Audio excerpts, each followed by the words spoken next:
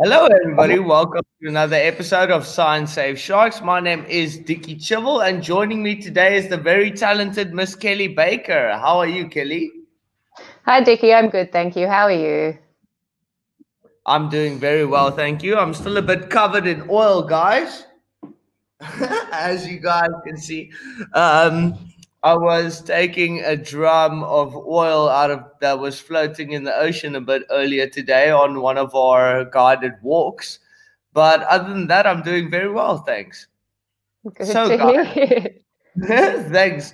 Um, so, Kelly, thanks for joining. And guys, thank you very much for joining. For those of you that are new to the show, um, we are from a company called Marine Dynamics, and we do shark cage diving and whale watching in the Gansbaai area, which is situated about two hours away from Cape Town. Uh, but we also do various conservation projects and research projects. Um, some of that on great white sharks, which brings Miss Kelly Baker in. Kelly, so cool. Always, always excited to have a chat. So we're going to chat to, to Kelly today, guys. Uh, we're going to chat to Kelly about um, superfish, great white sharks, how they heal, and the healing processes on extensive wounds that they that occur on these sharks. So, Kelly, um, firstly, I'm going to bring it. I'm going to bring in um, the fact that hey Kareem, thank you very much for watching. I'm going to bring in the fact that obviously these sharks are getting these injuries through natural and unnatural ways. So can you first let's let's start by leading into in with that. Yeah, well, I think uh, it's something that really doesn't uh, come into people's minds when you're talking about sharks. We tend to to think of sharks as the one giving out the damage, but they too too can get injured. So you're right. There are a, a number of things that could actually cause damage to to a shark, both natural and let's say anthropogenic in in origin. So let's touch on the the natural side of things. Um, so we would be talking about interspecies and intraspecies um, interactions there. Um, so in regards to your interspecies interactions, um, we're we're talking about um, interactions between two or more different species. So for our great white sharks. Um, a, a, nice example there would be them, say, hunting a Cape fur seal in in this area. Um, you know, an unwilling meal, of course, they're going to put up a, a bit of a fight for their survival. And it's not uncommon for us to see injuries inflicted uh, by the prey on the predator. And our Cape fur seals are more than capable of causing a few bites or scratches on our shark. So that would be one of the natural ways that these injuries could occur with our great whites. Yeah, 100% Kelly. I mean, um, you and I have both seen these scratches on the great whites. And remember, guys, um, it's when hunting a Cape fur seals, Kelly, you said something very interesting um, earlier when me and you had a quick chat bef- before this live session, and that was that these animals are not willingly getting eaten by a mm. shark. So if you're looking at a, a bull Cape fur seal, guys, you're looking at a 350 kilogram animal with canines. I mean, through disentanglements, when when disentangling bull seals, I've had one bit a hole straight through my arm before. Like honestly I could see through through my whole arm. So you're looking at formidable animals that these sharks are hunting to begin with. Yeah, you mentioned 350 kilograms. They're they're large animals. Those bull cape. Okay, guys.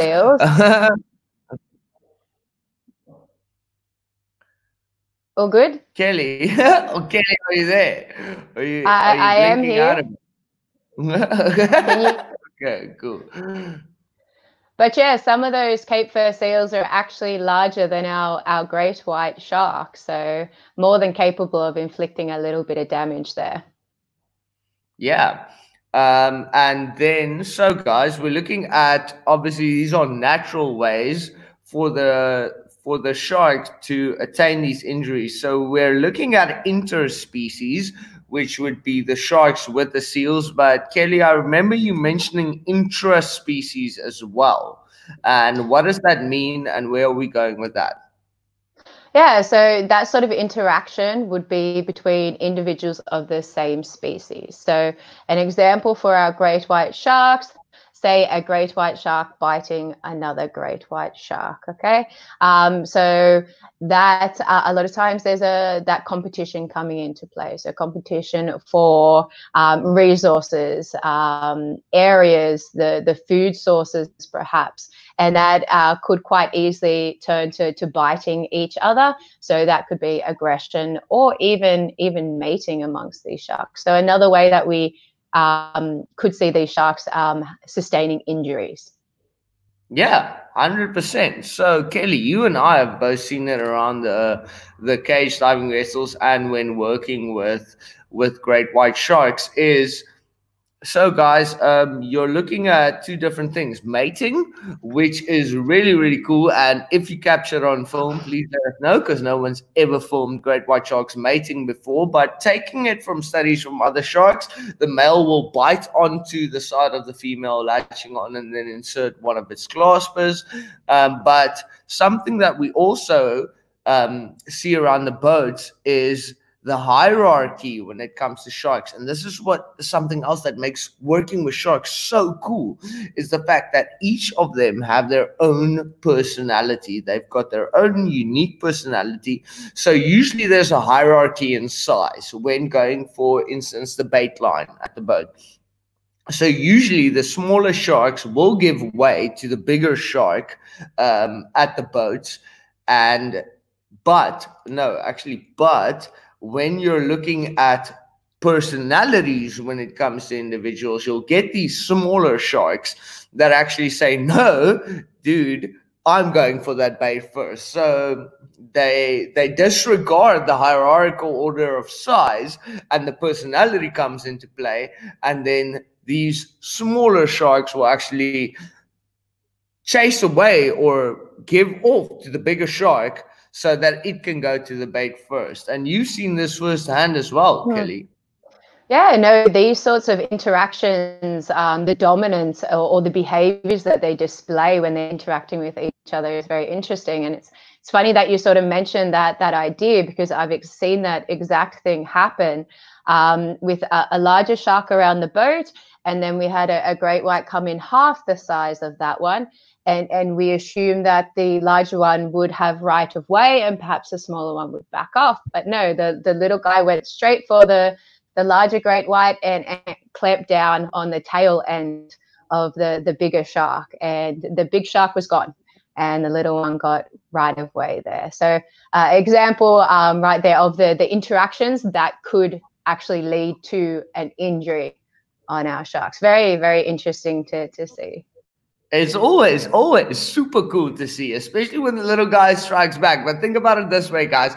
So you just bought a big bucket of KFC, or in the vegetarian, like your case, the vegan case. I was veggie for a long time, guys. So mm. so I have sort of in a way, all right, to say this, but so you're looking at a big bucket of lettuce and um, your little brother or little sibling wants to take the biggest, nicest, juiciest ever head of lettuce, and you just give them a slap on the head, and you're like, no, that's mine. And it's basically the same when it comes to these sharks. So they're not physically attacking or eating the other the other shark that's there is just basically a dominance thing where they will bite another shark. So Kelly, this is covering the natural side of um, the sharks getting these injuries either from the fur seals or from other sharks, etc. Um, but what when we get to the unnatural side, obviously those are the mo- the more severe injuries that we're looking at. So,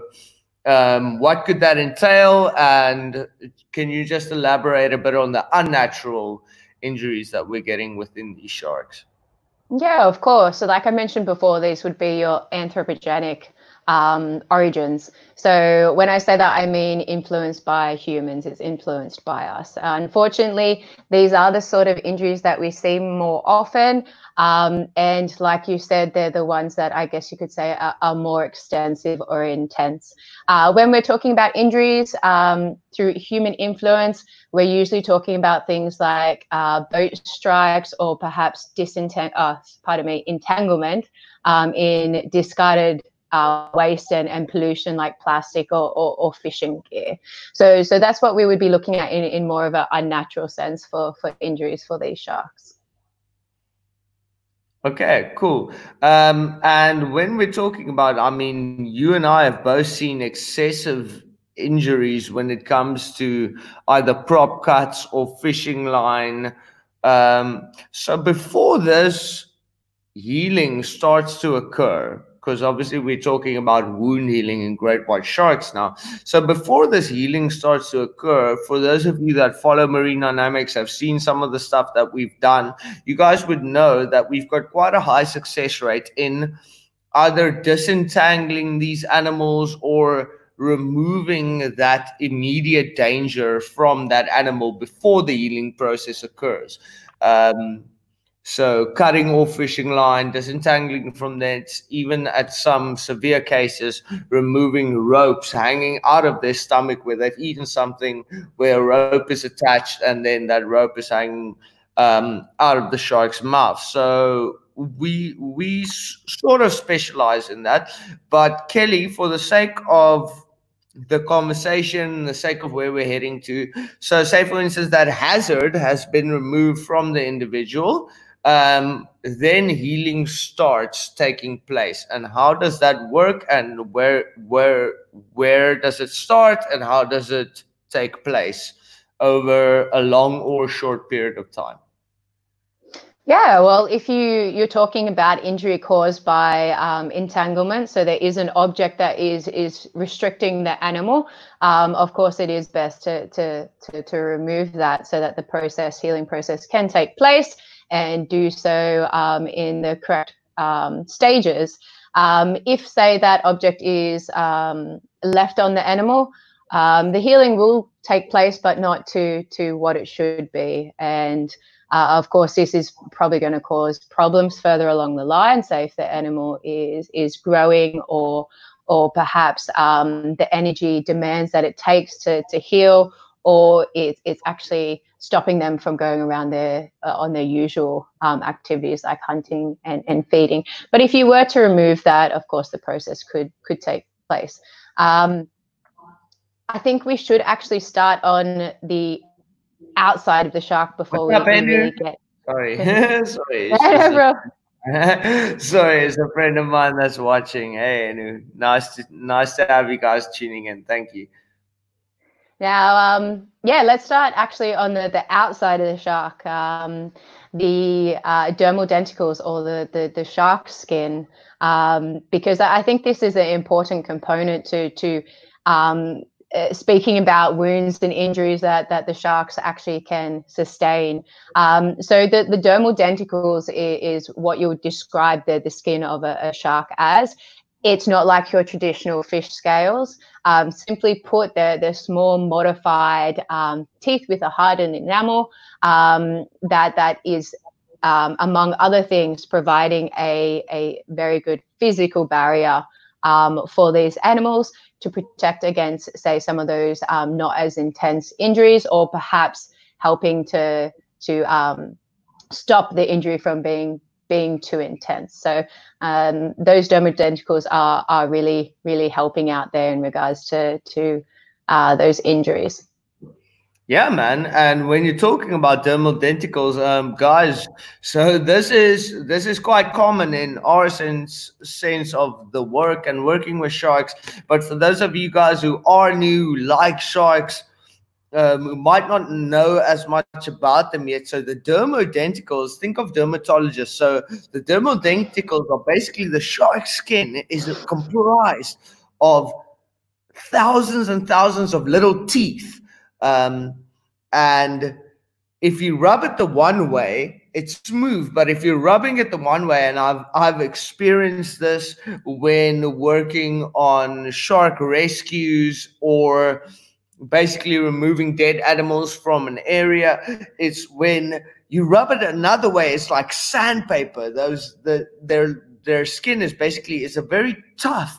They've got an incredibly tough skin um that's sandpaper and, and it scratches the whole body up it's incredible actually um once you come in contact with it so kelly so we were still talking about the stages when it when it comes to so they've got these dermal denticles as a hard initial layer but i'm sure you've got quite a few um things that you want to show us or tell us about the stages and how these sharks are actually healing, what's happening um, when they do sustain an injury, and how it starts healing from there.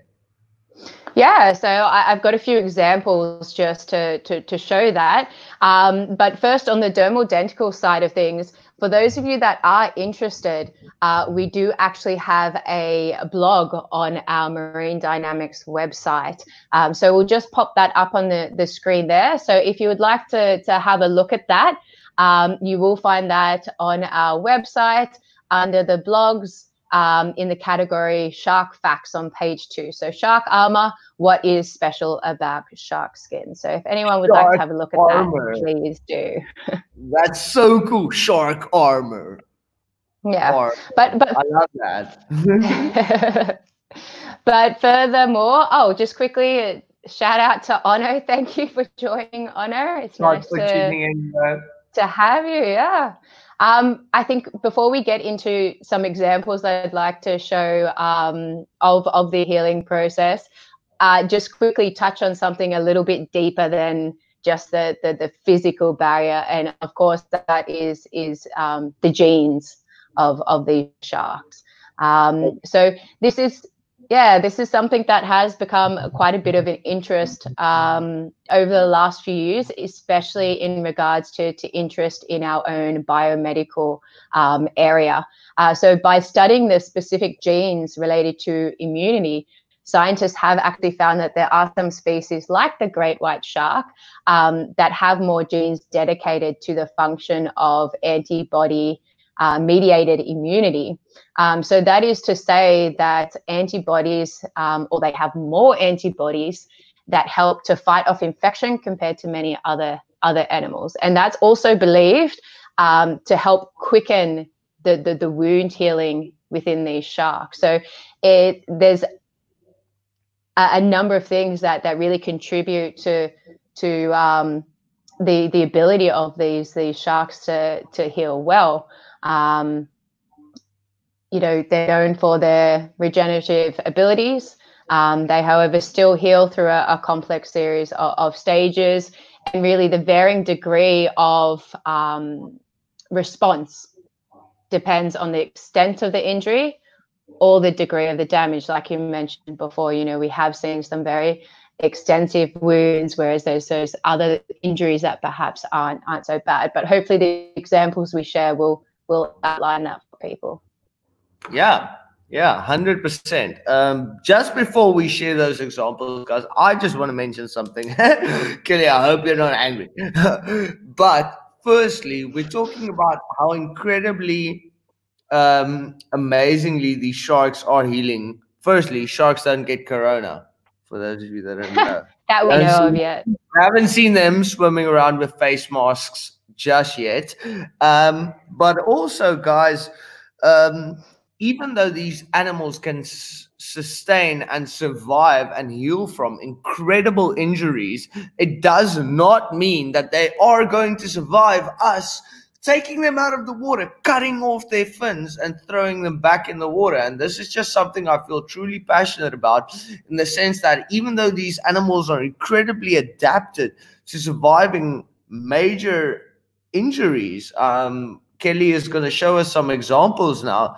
Is they they don't survive us cutting off their fins and throwing them back. I mean that is not something something that anything would survive. It's like taking us just cutting off our arms and legs and just putting us next next to the road, essentially. No, you're 100% right. Every dampen the mood. Sorry, Kelly. no, no, but yeah, um, you're 100% right. Every species has a, a, threshold of which they're going to to actually come back from from wounds or injuries.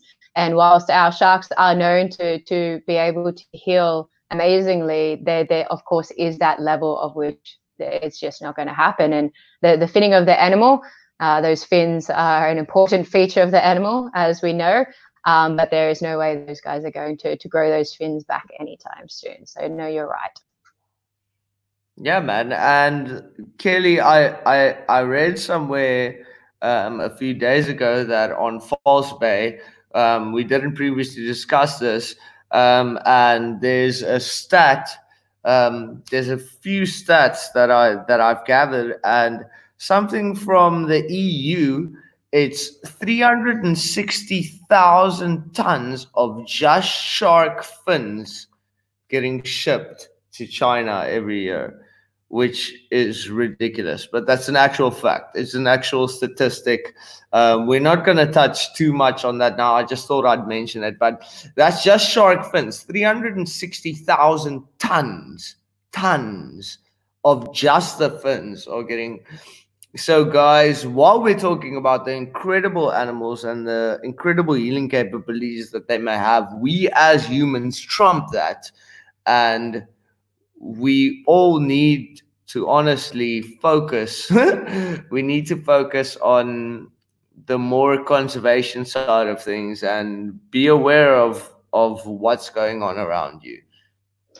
Uh, yeah, I just wanted to mention on on on that fact there. You're mentioning the fins. It's not just the fins, but the the the, the product, the the meat products from the animal, and, and that's a global thing.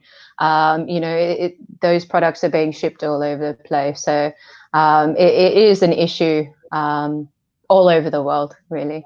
But uh, I think let's get into our examples yeah, yeah, yeah. Let's jump. Let's jump into the examples, Kelly. I'm sure you've got some cool stuff prepared for us, for us to see how these sharks are healing. But guys, I think it was important to touch on that because um, obviously we are conservationists. Kelly and I, at the heart of things, are shark conservationists, and even though it is not always necessarily focus on the neg- negative. We try not to. It is necessary to point it out. It is, you don't just blow over it because um, focusing on the positive is crucial, but um, acknowledging the fact that these things are still going on is just as crucial. But let's jump into your into your things that you want to show us, Kelly. I'm very excited. Now, I do have three examples of, of individuals that have been observed in the local area of Gansbaai. Um, each have injuries of varying extent and, and, suffered under different circumstances. Now, before we get into this, um, I am going to be using um, a video clip and some photos. And because we are talking about wounds and injuries, um, I must mention that there could be some graphic content. Um, so, just a warning to those of you that are tuning in perhaps if, if, this is, is not something you'd like to view, um, now is probably not the, the time to continue with this, but I, I will be showing um, some of those wounds and injuries. Okay, so just a, a bit of a warning. All good with that? Yeah. Okay, fantastic. Um, I want to see okay, so the the first example um, I, would like to jump into is probably the most extensive wound I'm going to show today, um, and this is a, a, shark or a great white shark, I should say, by uh, the nickname of Prop. Um, now, this individual was observed injured in the area back in 2008. Um, it was monitored over weeks, months, and uh, years, actually. And uh, 2012 Dyer Island Conservation publication came from the monitoring of this wound, um, authored by Alison Towner, Malcolm Smale, and Oliver Jewell. And that publication can be found on our website, and it outlines the whole um, monitoring and, and process that was seen with this individual. So this is prop here that you're seeing. Um, this is footage taken from 2008 and uh, 2009. So you can see the um, the damage there. um, on the, the, the ventral, um, or sorry, the dorsal surface of the animal there, um, or the top of the animal there. And this was believed to be caused by a, a boat. So that's a, a boat strike there. Uh, you can see it's going through the, the skin, the dermal denticles, and right into that muscle tissue there. Um, that's an incredibly that, big scar, Kelly. Wow. Yeah, it, it's it's it's a extensive extensive wound. Um, now he was monitored for the few weeks after um, the injury was sustained. Um, and then, of course, like our white sharks do, he left the bay. But nine months later, he was spotted again in the bay. So he did return. The crew or team were able to recognize the shark using the extensive um, photographic database we have of the dorsal fins. And you can see exactly the extent of, of the healing in this animal in nine months. It's absolutely amazing. As you'll see, the, the wound has has closed and you've got that pigmented scar remaining on, on the, the top there. That's incredible, Kelly. I mean, look at those healing mm. capabilities. It is absolutely astounding. I remember we had one shark as well a couple of years ago um, that had prop cuts also from a boat. So what was that big word you used? Anthro and and anthropogenic so human influence yeah anthropogenic and it was cut by this prop and within the three months that it spent in our bay you could see that healing process taking place and it's just absolutely incredible how these guys can sustain inc- incredibly serious injuries and heal from that. I mean marine mammals in general uh, i've seen um, with seals and whales also but with the fish as well i've seen like sharks healing from incredible injuries. So um, Kelly, what is um, we haven't discussed this prior, but infection on these wounds. These do these animals suffer from infections on a wound like that? I think it's interesting, um, just to go back, that you touched on the the marine mammal side of things. You know that comparison between your other marine um, animals to your sharks is quite interesting, and they all have their their own way of processing or healing from these wounds. And that is something that is discussed in that publication um, that I mentioned before that that worked around the, the that shark that we just showed. And, and that publication, um, yeah, Wound Healing in Carcharodon carcharias, is available on our website there. But it does also draw in the comparison between the different animals and and really how they heal, which is quite interesting. Um, in regards to to um, uh, that shark there, you're right as well. You know, that footage we just saw, that was actually taken about or approximately a month after the assumed injury took place. So it's already in the healing process. You can see that the the, the, the muscle tissue there is, is actually um, going a lighter color, whereas it would have been, um, you know, that ready pinky color when it was originally um, sustained. Um, fast forward another eight months after that, um, that footage and photos that we saw at the end of the clip, uh, that shark was seen in in the bay again, and um, again even more so that that that that wound or scar, I should say, is is, healing up. Um, but it, it does have it does have its negatives as well you know yes they're amazing this process um, the way that they're, they're they're healing so quickly but it, it does actually affect them because there is high energy demand in in this healing process um, it's something we've spoken about before as well you know whether all that energy goes towards a healing process so you may see um, you know a lessening of the health or the body conditioning of the animal or perhaps it's taking them away from from something something else else too. But happy to say that that prop um, the, the the team concluded um, at the end that there was little evidence of long term damage uh, in that the animal swam and behaved like it would be assumed with with this species. Something cool that's stemming from this, guys, though, is something that Kelly and I have noticed, Ruben Rutson. And just before mm. I say I've just realized by looking at myself back on the screen that I have a mustache. And I never noticed that before. Um, so welcome, Dickie and his mustache. I, I, I, Really? I, I never knew it was this prominent on my face before before this live stream. But I, I didn't know that was a that was a, a new thing, to be honest. it, it's new to me. Okay, cool. anyway, um, what what did I want to say? So Kelly, I wanted to touch on something, which is um, the fact when we're looking at the healing of these these animals, and I don't remember what it was at all. That's fine. Do you want do you want to um, get on to Uh, you can go to the example? next example until I Yeah, remember. I was gonna say, You we'll- we'll go with the- it. I we'll really go with example two. you might remember. Yeah, Um, I'm- So, example two, unfortunately, like prop, is um, an example of a, a shark that has sustained an injury um, through human influence. So, this is Lucky, uh, a shark uh, very close to the Marine Dynamics team members that were involved in her disentanglement, of which you can all watch as it was recorded and is available for, for viewing on our YouTube channel. Now, you can see from the photo um, that Lucky had encountered what too too many animals do these days. Um, this small female, measuring in at the time at approximately 2.8 meters in length, was observed in 2013 to be entangled in fishing line. So completely encasing the trunk uh, on the level with the fifth gill section. An infliction with if uh, an infliction which, if left, um, can cause a, a number of problems and, and possibly kill the animal but it's also an injury which we can intervene and, and try to help.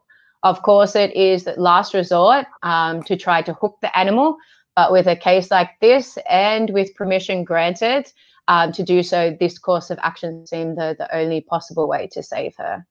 Um, so, Dee, you probably remember this shark. Um, we Yeah, still see yeah, her moving through the bay. And I want to Mm. add something on this, if you don't mind. Um, guys, when it comes to the entangling of animals, I'm not saying there's better and worse, but smaller animals like the shark or younger seals, younger whales, even, they are growing at an exponential rate like humans would grow. So, getting disentangled at a younger age is incredibly hectic in the sense that sorry for the graphicness of this but these animals are dying slowly. It's it's a horrible death like look at this animal. So when it first got wrapped by this fishing line um, the fishing line was around was okay. But as it's growing this fishing line is shrinking in around this animal and it happens to seals it happens to whales it happens to sharks it happens to anything. Um, it's growing into this. So it's just a case of being even more aware like this is not i'm not saying any death of an animal is good but when you're looking at the slow later on they can't feed they can't move they can't breathe and um, so the younger animals as the shark so i'm incredibly happy. You can see how it cut in how, how the shark has grown from this. Um, but what i wanted to say kelly kelly i actually remembered what i wanted to say is something very interesting that we've learned from sharks getting hurt or sharks getting damaged. And this um, i've not seen it in any scientific papers yet. You might agree or disagree kelly. This is a personal opinion from my side. But what i have seen from individuals with either missing pectorals or a damaged dorsal fin or both is that they adapt their hunting behavior because they are now not as streamlined, not as naturally adapted to hunting. They're not as smooth in the water. And we've got a shark that you and I mentioned in the previous chat called Bullet. Um, some call it Big Nemo. There are various sharks um, that have natural um, disa- disasters. natural disasters, not the word, but how they can which is incredible how they can, because of this, um, dragging them behind because of a damaged dorsal, pectoral, missing limb, or whatever, they can actually adapt their hunting style to be more full on because of this. Um, so I'm not saying it's a good thing. I'm just saying it's something that we have noticed from from animals recovering from severe injuries is that they actually have to adapt the style in which they approach prey, which is an incredibly cool observation to make. It's it's not necessarily scientific. It's not necessarily um, something that's good or bad. It is just an observation that I have seen from working with sharks over an extended period of time, which which was cool for me to notice. No, I think we have to remember that these sharks that they're very robust. Uh, they're very resilient, and like you mentioned, they're they're going to adapt to to to what what is is is coming their way, really. So no, very much so. Um, but I think we can actually see what happens to uh, Lucky here now. So I have um, I do have a picture wow. of her wow. not even yeah not even 12 months later so like i mentioned she was successfully disentangled wow. So the team was able to to take that fishing line off her.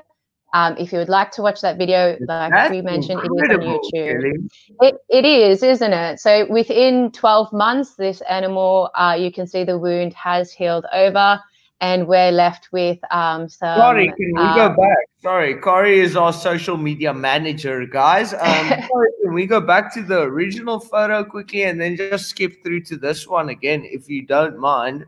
Um, she organizes our stuff, guys. Um, but mm. look at that. Look at that wound. And then we're taking it back to the next photo again. That is incredible. And Kelly, what time frame did you say this was? That was that was actually less than 12 months. That is incredible. So within a year. Wow. Hmm.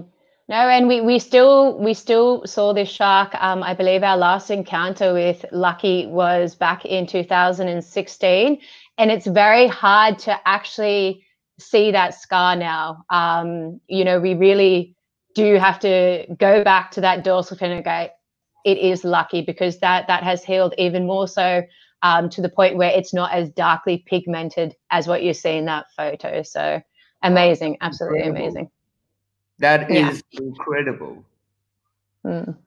Now, I do have one last example. This is actually one that I put in because those two examples we just looked at um, really are injuries influenced by um, uh, anthropogenic um, uh, causes, so uh, human influence.